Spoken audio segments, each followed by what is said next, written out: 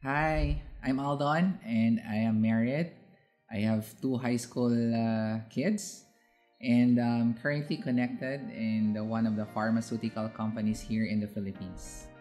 Since the pandemic started, sales have been unfavorable for my products. Because there are very few pediatric patients visiting the hospitals, and cases for the drugs I'm promoting have been very low.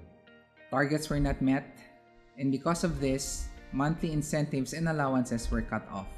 When 2021 started, the Lord gave us His word through Deuteronomy 8, which was very timely with one of the church series for 2021. This has been our guide this year.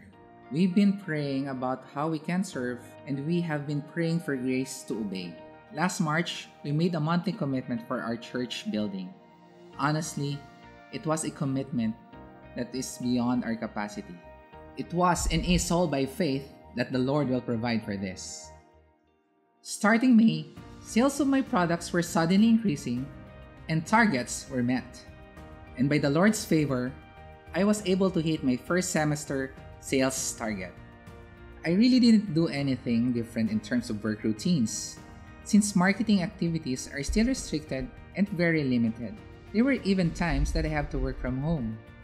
We acknowledge that it's only by Him and through Him that we can fulfill commitments. Truly, God is faithful, and He provides and blesses us, especially when it is for His glory and purposes.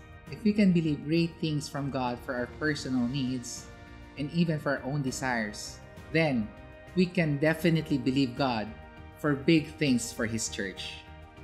My name is Aldon, and that is my giving story.